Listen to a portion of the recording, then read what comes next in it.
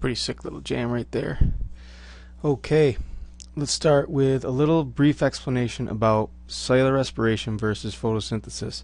I've saved you the cost of watching me draw this stuff out. Here we have chloroplast, mitochondria. Chloroplasts occur only in plants, whereas the mitochondria you can find in both plants and animals. Everything needs to make its own energy. Chloroplasts carry out a process called photosynthesis. Mitochondria carries out a process called cellular respiration. And this is how the two work together. If I choose, let's do this all in blue on this side. If we start with a raw inorganic material like water, water goes into the chloroplast and it comes out of the chloroplast as atmospheric oxygen. Carbon dioxide goes into the chloroplast and after photosynthesis is over it comes out as glucose. This is a starting material, a raw material, and this is what we call the product. Fantastic. Let's hold on to that for one moment.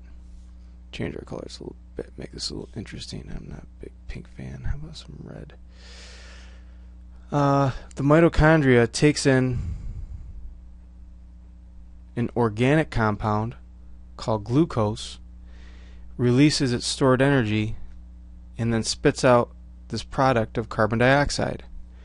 It also takes in another compound, oxygen, and it spits out water. Here are my, you said it, raw materials. These are my products. It does something interesting though, in that it creates as an outgoing, wiggle, wiggle, wiggle. Let's get rid of that. An outgoing product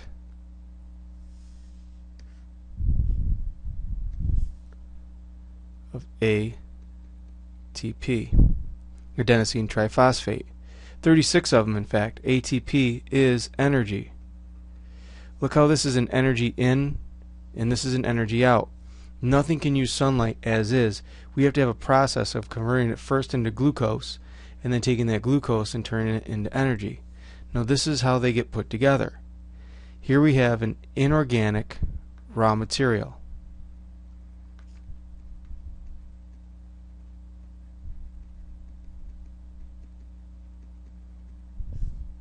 Here you have your product. Right? However, over here, what was product on one side is now raw material to the other side.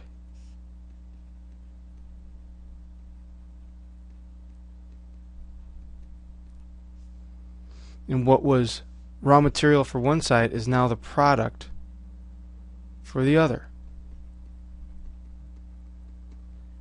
This product, after a while, gets fed back to this and becomes the raw material to start photosynthesis all over again. Photosynthesis then turns them into a product, and that product becomes the raw material for the process of cellular respiration. This side, photosynthesis.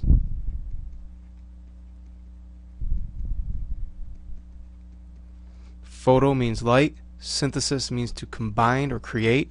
So you're using light energy to create an energy rich molecule. Cellular respiration.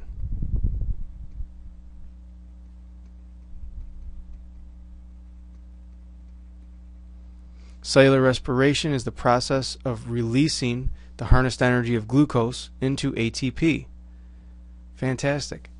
You are going to be responsible for knowing everything I've put on here for your midterm, but there's really not a lot. You've done this already. You'll do great. All right. Let's finish with that little jam.